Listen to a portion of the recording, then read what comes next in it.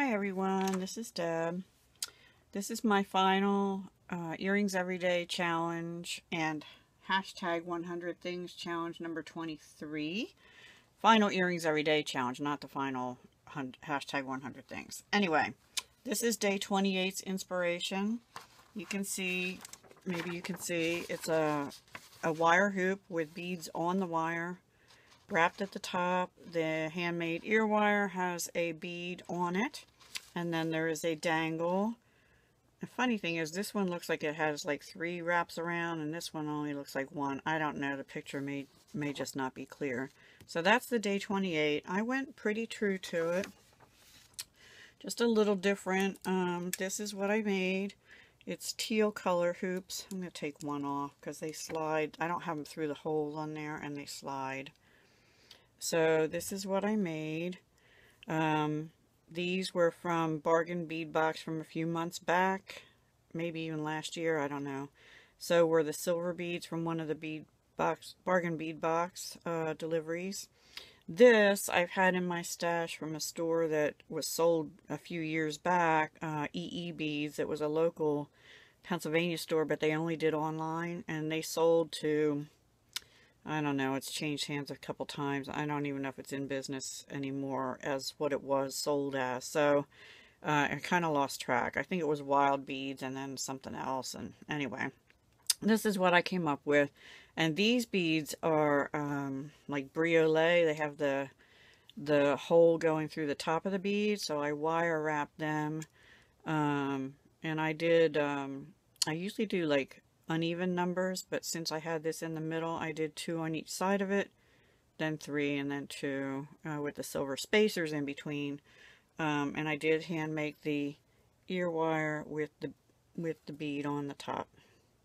So that is day 28. Let me just move them out of the way. Okay, day 29. I didn't do like they were because I don't care for this. She used a text, it looks like a textured wire and just did a, what they call a messy wrap. Just a loop at the bottom and a lot of messy wrap wire or, you know, and I'm, I'm not into the whole intentional uh, messy wrap look. I just, I, I'm sorry, I just don't care for it. Everybody, you know, to each their own. Um, so it's probably my little business sense coming in, but I made these. Um, I'm going to hang them on the paper again. And I wanted this, the metal look, but I had, I've had these ornate kind of teardrop bead dangles in my stash for a while. They're not sterling. Um, and then these are actually freshwater cultured pearls. And I just wire wrapped them and put them on a pre-made silver plated ear wire. So that is those. And um, they're not real heavy. I think they're dressy and nice, but could be for everyday wear. And then lastly, put these back over here somewhere.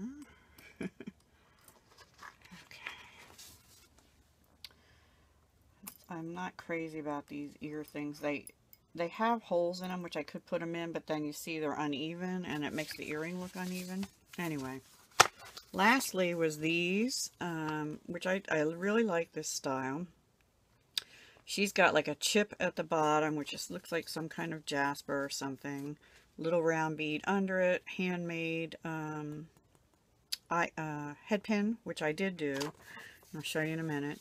And then it looked to me like she wire wrapped these beads onto this handmade, um, like a V ear wire. And I, I really like that style.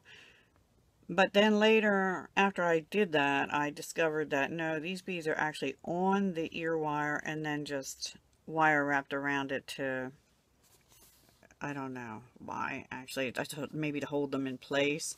And then there is, um, this part is dangling off the bottom. So what I did is slightly different. I used um, Argentium Sterling. It's actually Argentium Silver, which is a little better than Sterling. I used Blue Lace Agate. I wire wrapped, I don't know if you can see, I wire wrapped this little bead onto the front of the ear wire so it sticks out a little bit.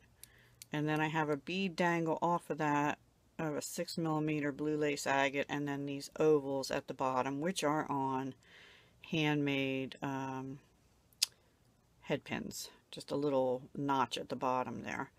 Um, so I used 19 gauge argentium silver for these V-shaped wires and I used 22 gauge for uh, the wrapping and the bead dangles and I love blue lace agate now the thing is I had some chips but I didn't have any that were even close to consistent in size and color variation because blue lace has a lot of you know it can be clear to brown to blue to white kind of variations and I didn't find any two that I like so I went with the ovals and they're even varied because they're natural gemstones and they do vary.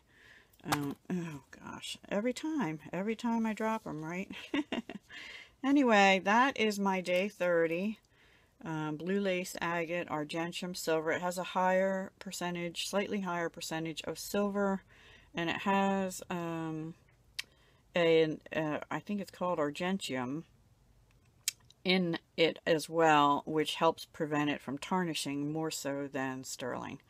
So yeah, those are my little earrings, which I like. I think if I did them again, I would not wire wrap these onto the front. I would just put them on the ear wire, and I may make another pair like that. Uh, it gives it dimension. I just don't know if I'm happy with, totally happy with those little 4 millimeter wire wraps on there. So, yeah. Um, so that's it. That's my days 28, 29, and 30. Um, Stacy Works has uh, kindly given me this project share in the back, and I'll change that out the next time. And I was going to do a lot more today, but I just got a call from my vet, and I have to take my kitty in for blood work because she's having a tooth pulled tomorrow, which is broken. Um, and it's getting more abscess. So poor little kitty, I have to not only try and get her in the crate tomorrow now, but I have to do it again today. Not happy about that. um, also, um, for those of you that were following my jewelry in September collab that I was doing with left-handed crafter Brandy, hi Brandy, um, I had done a poll and only about three or four people answered the poll. I haven't forgotten about you guys. I'm trying to figure out um, what to do for you. And uh, I may just come back with a question video sometime either today or tomorrow, which would be Wednesday or Thursday. So stay tuned um, and bear with me. Okay, thanks guys. Hugs and love.